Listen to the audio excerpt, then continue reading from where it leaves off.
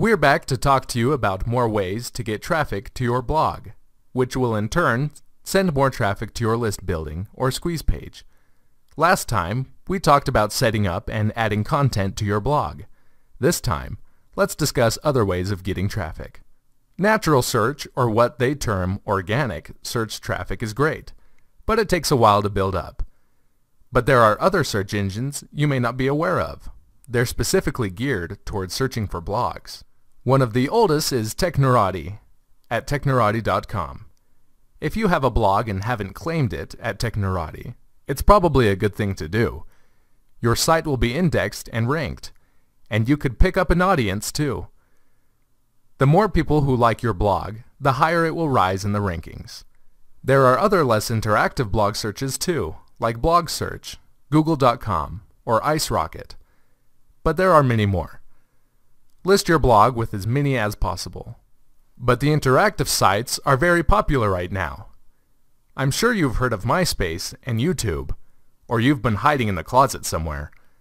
These sites bring traffic, but there are hundreds of sites that will have the same effect if you get involved in what's called Web 2.0.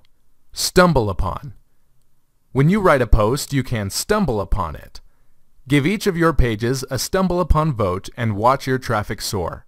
To get on that page, rather than just the first page of your blog, you'll need to click on the post title if you're using WordPress, or click on the link that says permalink. That will take you to a page with the precise post number included. Stumble upon those each time you post. Reddit.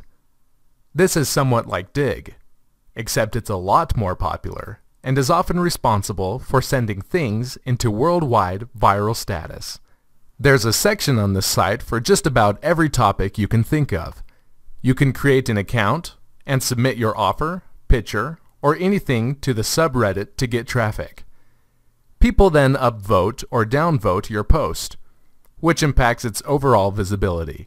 You need to make sure that the content you post is relevant and valuable to the community in order to increase your chances of higher exposure.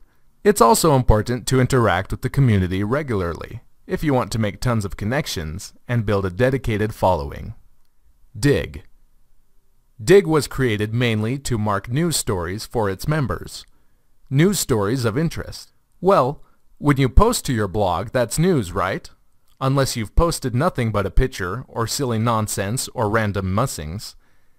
Digg will accept your vote for other people to see what you've voted on.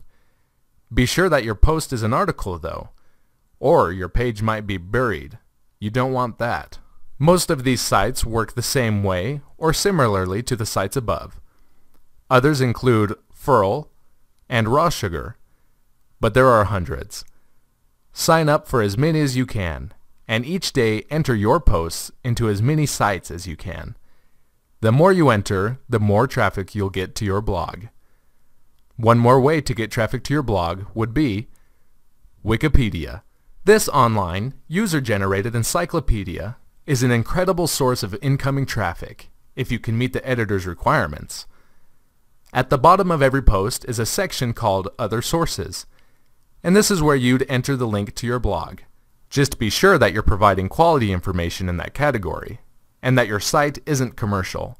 It's also worth noting that there are a ton of smaller, wiki-based sites now that you can end up having your website referenced on, which is a great way to create more traffic.